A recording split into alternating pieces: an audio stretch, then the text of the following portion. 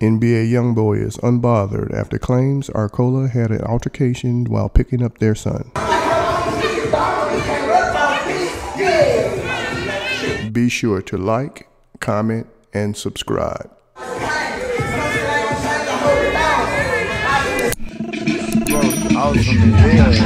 I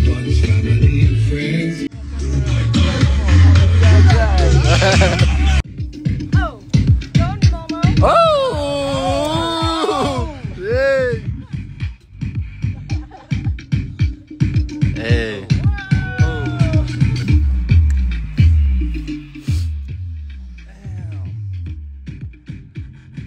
the fuck I gotta do for my son. That's just that. I don't give a fuck about you. But the fact that you could really let in front of your son and sit back and watch, and you know what he kept saying to me? I disrespected him.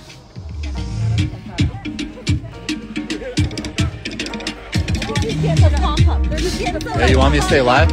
Yeah, he's fired.